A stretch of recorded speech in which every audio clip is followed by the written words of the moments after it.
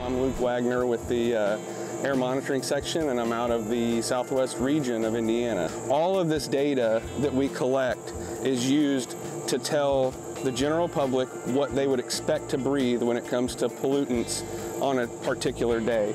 And I operate and maintain the equipment in southwestern Indiana.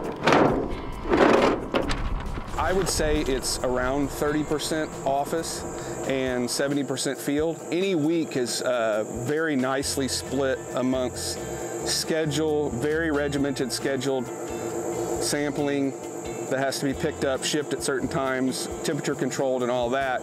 Split between then I get to work in all my maintenance and checks and everything else on the more continuously monitoring network in between there that has a little more flexibility uh, of when that has to be done. My favorite part of this job is what I call the healthy combination of scheduled work, predictable work, and then just enough variation to make it interesting.